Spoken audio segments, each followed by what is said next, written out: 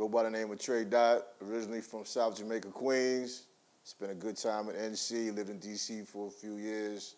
I'm an MC, I'm an author, inspirational speaker, just well-rounded person communicating with the world, putting my heart out there.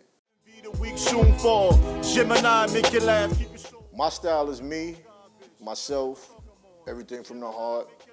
I've never really been motivated by my surroundings. I'm more so always motivated by my spirit.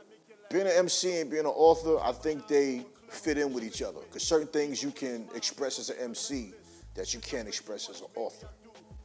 Me as a person, I would describe myself as a person in recovery. You know, because I dealt with alcoholism, I dealt with depression, and I know what it takes to get through those things. Uh, IG, Boss Tre-Dot, Black Male Boys Icicles Dripping, which is more so for the music. Um, Twitter, Boys Dot, YouTube, Hip Hop Dot.